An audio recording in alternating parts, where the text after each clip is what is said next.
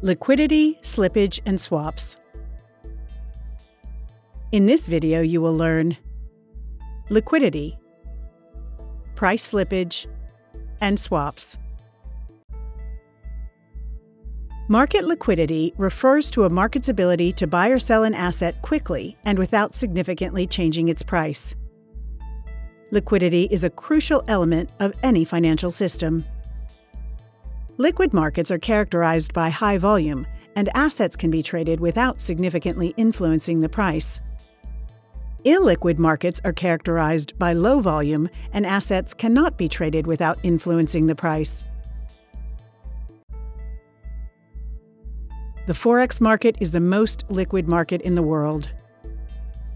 The U.S. stock market average daily turnover is $220 billion, while the Forex market average daily turnover is $5.3 trillion.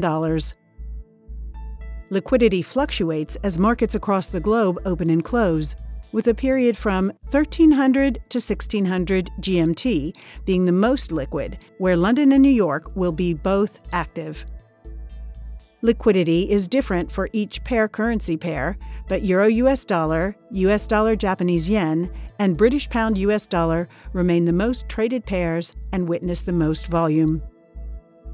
While a liquid market is known for its steady movements and fixed prices, illiquidity can lead to high volatility and price slippages.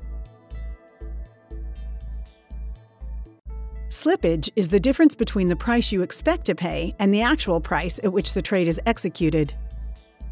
Slippage is more likely to occur when liquidity is low, for example, during news events, due to a lack of either buyers or sellers. Slippage can sometimes go against you or in your favor. If you place a trade to buy the Euro US dollar at 1.1950, and the trade is actually executed at 1.1960, the slippage is 10 pips against you. If you place a trade to sell the euro US dollar at 1.1900 and the trade is actually executed at 1.1905, the slippage is 5 pips in your favor.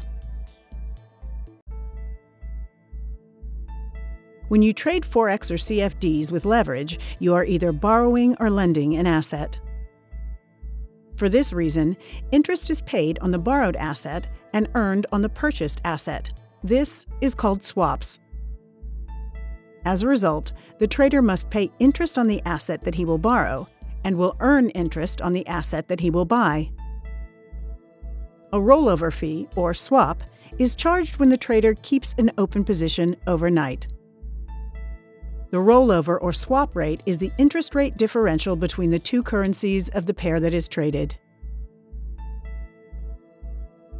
If the interest rate on the lent asset is higher than the interest rate on the borrowed asset, the trader will receive swaps.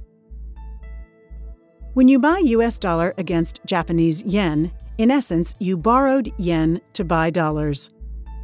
If we assume that the interest rates in Japan are 0.25%, and 2.5% in the USA, the trader will earn 2.5% per year on his 200,000 US dollars and will pay 0.25% per year on the Japanese yens. To calculate the swaps, we simply multiply the traded amount by the difference in the interest rates.